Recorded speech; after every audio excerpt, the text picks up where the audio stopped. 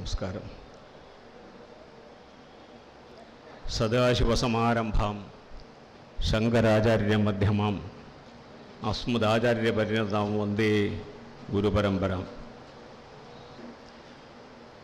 ഇന്നിവിടെ ദേവപ്രശ്നം എന്ന വിഷയത്തെക്കുറിച്ചാണ് സംസാരിക്കാൻ പറഞ്ഞിട്ടുള്ളത്. ദേവ ദേവപ്രശ്നം. അവിടെ ദേവപ്രശ്നം എന്ന് പറഞ്ഞ് ആരംഭിക്കുമ്പോൾ തന്നെ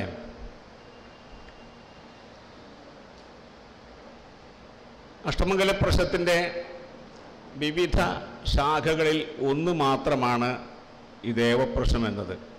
വളരെ ലഘുവായി പ്രശ്നമാർഗാചാര്യൻ സൂചിപ്പിച്ച ഒരു പ്രശ്നം.